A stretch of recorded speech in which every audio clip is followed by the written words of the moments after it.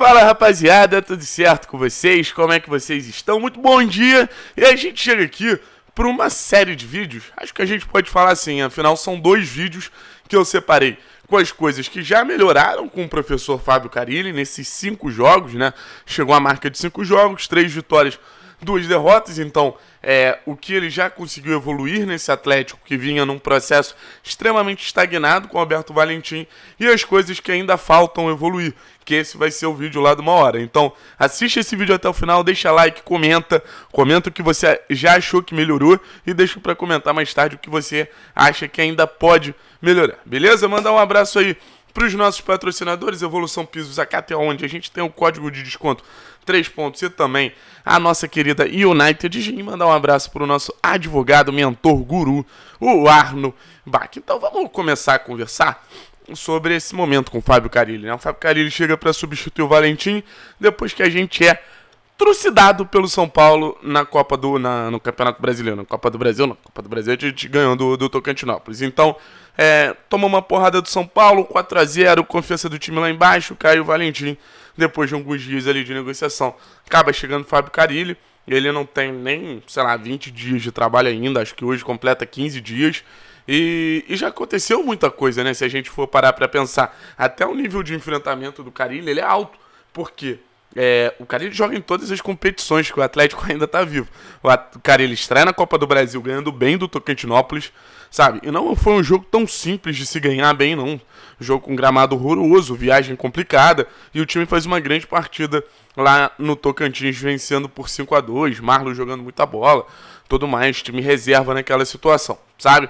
Tem dois jogos pela Copa Libertadores, que é sempre o principal objetivo do Atlético na temporada, então para para pensar dois jogos. Uma vitória em casa, uma derrota fora de casa. É, o Atlético ainda está numa situação ok ali no grupo. Ainda não saiu o resultado de Jorge Usterman e, e, de, e, Caracas, né? Não, Jorge Usterman não, The Strongest Caracas, que a gente sempre enfrenta o Jorge Usterman, fica na cabeça. Então a gente pode se complicar, mas torcer para ser um resultado ao nosso favor. É, só que eu acho que, assim, em nível de atuação a gente foi bem, assim, a gente vai bem melhor do que o The Strongest e a gente vai ok ali contra o, o Libertar, sabe? Não é um jogo que o Atlético joga super mal, é um jogo que o Atlético faz um primeiro tempo legal, chega mais ao gol do Libertar do que o Libertar o nosso gol, faz um jogo bem controladinho, só que no segundo tempo, por uma falha ali, as coisas não dão certo, então uma vitória uma derrota na, na Copa Libertadores, uma vitória uma derrota no Campeonato Brasileiro, mas contra dois dos principais times da competição, né? Flamengo e Atlético Mineiro. Conseguir ganhar o Flamengo é sempre muito difícil. Tropeça ali no Atlético Mineiro, num erro da defesa, um erro conjunto da defesa. É, o Zarate acaba fazendo um golaço. É curioso, né? O Carilli, por enquanto, só perde com golaço. É o gol de letra do Riveiros, é o golaço do Zarate. Então é só golaço que, que consegue é, derrotar o Atlético. Mas a gente separou aqui cinco pontos de coisas que melhoraram com o professor Fábio Carilli para fazer esse top 5 um pouco diferente, sabe?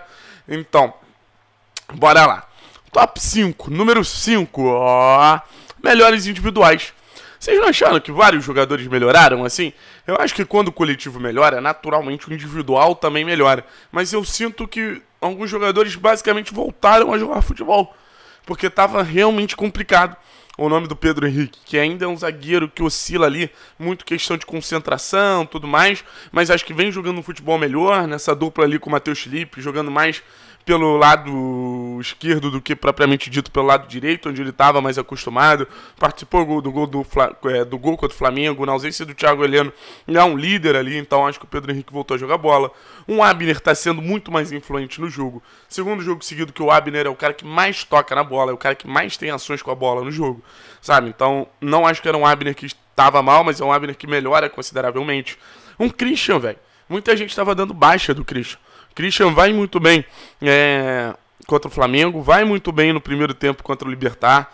Então, é o que eu já falei. Se o Christian aprender a marcar, é titular absoluto dessa equipe, mano porque tem uma noção com a bola muito, muito, muito boa de sair da pressão, de dar dinâmica ali no meio-campo. E principalmente acho que o jogador que mais cresceu, o jogador que está entregando mais nessa gestão do Fábio Carilho, acaba sendo Davi Terãs e os seus gols, né? Davi Terãs, além de entregar desempenho, vem sendo muito decisivo. Das três vitórias com o Fábio Carilho, dois é, desses jogos foram resolvidos com gols do Davi Terãs. Então, essas melhores individuais são muito importantes. E eu acho que tem a ver também com questão tática, tem a ver com questão técnica, mas tem muito a ver com confiança. O próprio Vitor Bueno falou que o Carilho é um cara de diálogo muito fácil, diálogo muito claro. Então acho que isso, isso ajuda muito os jogadores, sabe? Então vamos para o número 4. Melhora no, jo no jogo pelos extremos. Eu estou vendo um protagonismo muito maior pelos lados do campo, sabe? Naturalmente isso ia acontecer quando o Canob estreasse, quando o Vitinho tivesse uma sequência. Mas hoje, assim, o Atlético tem no Terãs talvez o seu principal jogador nessa gestão, Fábio Carilli, mas tem dois auxiliares ali que, que potencializam terãs, que potencializam esse sistema ofensivo, que dão uma cara a esse modelo de jogo também. Então, você tem pela direita um Canóbio, que é o ligeirinho, que é um motorzinho da equipe, não para em nenhum momento, corre, sai da pressão muito bem, tá mostrando drible, tá mostrando capacidade de jogar mais pelo centro, capacidade associativa, explosão na hora de, de explorar a profundidade, sabe? Não é aquele cara do gol, aquele cara da assistência, mas ele dá um volume muito legal ao jogo, um volume ofensivo, um volume ali no meio campo. E você tem o Vitinho, que a gente sabe a qualidade do Vitinho, é um Vitinho que consegue voltar da Europa ainda melhor do que saiu, né? Então, participando bastante do jogo, construindo, buscando sempre estar ali numa zona de finalização, algo que ele faz muito bem. Aquela bola contra o Libertar, um detalhe que aquilo não entra, sabe? Mas participando do jogo, recompondo. Então, esses dois jo eh, jogadores, assim, acho que são peças muito importantes. Tô torcendo muito para que o Vitinho permaneça até o fim da temporada, porque até gostando muito do Coelho, eu não quero essa pressão de substituto do Vitinho, sabe? Gostaria de ver os dois jogando juntos, mas não ou um ou outro. Mas, assim, é, é inegável a, a capacidade do Canóbio de de ser imparável ali, até mais do que a marcação espera dele, do Vitinho de ser esse jogador importante, sempre tá ali muito bem posicionado para receber, para ir para um contra um, para partir para cima do marcador, tá ligado? Número 3. Melhora na retenção de bola, se sente mais confortável sabendo o que vai fazer.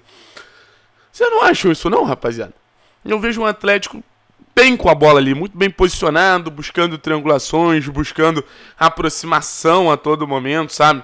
Vejo um Atlético buscando esse 1-2, o, o volante se aproxima do lateral, que se aproxima do ponta, o meia dá uma dinâmica muito legal ali. Os jogadores estão próximos, os jogadores se encontram facilmente, os jogadores sabem onde o companheiro vai estar, os jogadores têm essa capacidade de diálogo muito maior.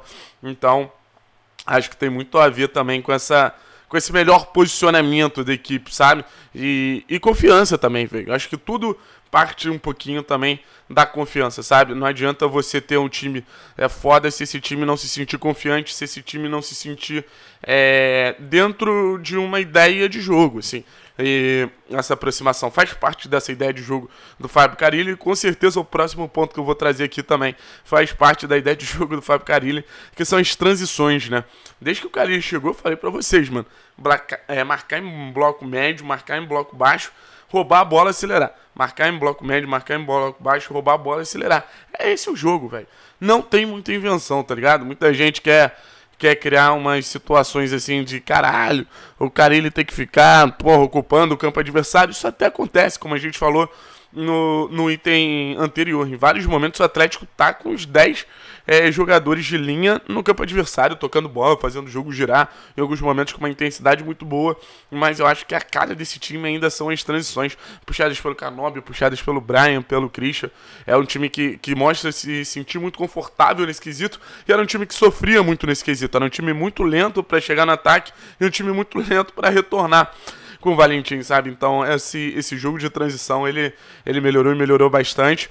O próprio Guto Ferreira, ele fala que o futebol é um jogo de transição, né? Quando você não tem é, um equilíbrio, você perde esse, esse vai e volta, esse atrai, ataca, atrai, ataca. Mas o futebol em si, no seu conceito, é, é um jogo de transição. E para terminar esse vídeo das coisas que melhoraram com o Fábio Carilli, só passando um pente relembrando, melhores individuais, jogadores rendendo mais, melhora no jogo pelos lados do campo, principalmente com os extremos, né? Melhora na retenção de bola, é um time que se sente mais confortável com a bola, sabe o que fazer, melhora nas transições e para terminar, melhora na compactação defensiva. Quando o Carilli chegou, a gente sabia que seria uma das prioridades um time mais compacto, um time mais organizado defensivamente, um time que consegue segurar bem ali algumas situações, segurar bem ali é, alguns ataques adversários. Ah, tomou quatro gols em, em cinco jogos, tomou quatro gols em cinco jogos. Isso é, isso é inegável, mas a gente pensar também que o Atlético conseguiu dois clean sheets, algo que era, que era meio difícil da gente ver até com treinadores melhores que o Valentim é, em relação a, a falando do, do, Antônio Oliveira, sabe? Então é um time que vai buscando essa melhora defensiva para aí sim melhorar de vez na frente. É um time que marca muito bem nessas duas linhas, né, de quatro e dois jogadores à frente, essas linhas bem próximas, cedendo pouco espaço na entrelinha, evitando que o jogo do adversário se sinta confortável. Show de bola, rapaziada. Essas são algumas das melhores dessa gestão Fábio Carilli. Quero saber o que, que vocês acham, o que, que vocês concordam, o que, que vocês discordam. Muito importante saber a opinião de vocês, mas é, é o que eu queria trazer aqui para a gente fazer esse balanço. Com 5 jogos, com 10 jogos, a gente pode voltar a fazer esse balanço. Com 15 jogos, a gente pode ir fiscalizando o trabalho do Fábio Carilli. Né? Com todo respeito ao trabalho do professor, acho que vem fazendo um bom trabalho, tem muita coisa para melhorar ainda, mas ele não pegou uma casa muito arrumada, não, muito pelo contrário.